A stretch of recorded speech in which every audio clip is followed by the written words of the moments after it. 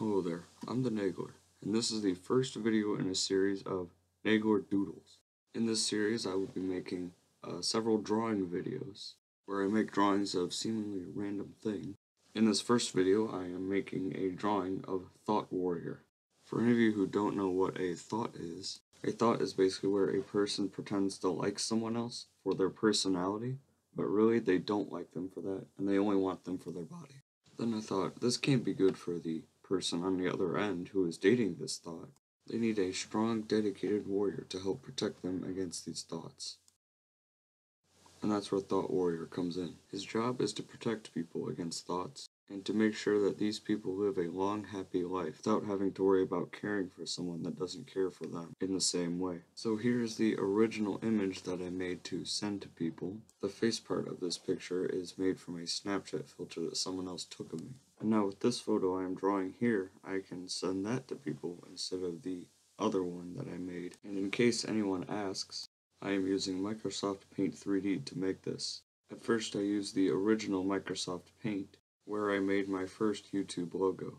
Then when Microsoft came out with Paint 3D, I enjoyed that a lot better. The only complaint I would have with Paint 3D is that when you try and fill something in, it fills in the pixels around it too, as you can see in me drawing this right now and struggling a little bit. Other than that, I feel it's a lot better than Microsoft Paint in many different ways. I love the stamp tool that I added, and I also love the Magic Select tool. I use that tool a lot, especially when making the outside chicken profile pictures. Another feature I wish they could bring back from the original Microsoft Paint is the feature where when you press F11, it'll make the photo itself full screen. When I made my stories, I use that feature to make the picture the full screen so that I can make sure there's no black bars on the side of the video. Now when I make the image I have to make the picture the same exact pixel size as the screen monitor on my computer. So that's going to be a little bit annoying. Speaking of future videos, the goals I want to have with the future of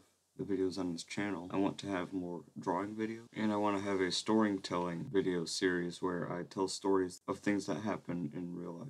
I'm sorry if I am disappointing the 10 of you that have watched that video series. Even though I did have fun making those videos, I feel it was too generic to put on YouTube since several other YouTubers were doing the exact same thing and I just wasn't getting any traction out of it. I might play a couple games here and there if you guys want me to, but in general, I am not going to make full series of just gaming videos on this channel. Now with this series, I wasn't going to make it, you know, just a drawing video, music in the background sped up by 30 times. I figured it would make it a series where I would talk to the people who watch this channel, the fans, and answer some of the comments on previous videos, in which I can do that right now. First comment comes from Jackson Scott, and it simply says, This is epic.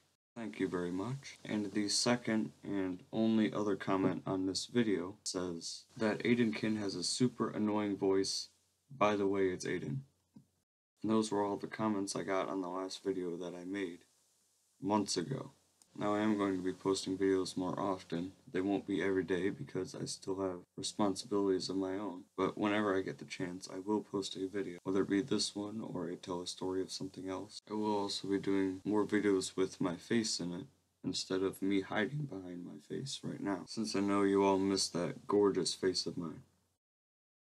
Well, I think I've, uh, I kind of ran out of things to say, so I might just go ahead and skip to the end of this and show you the final product. But before I do, I just want to let you know that I do have a Twitter, and I'm going to be posting memes and other goodness on there, so stay tuned for that. I will also be announcing on there when my videos come out, and welp, I present to you the final product. Thank you to everyone who took the time to watch this video. Make sure you subscribe to see when I post the next stuff. I'll see you all later.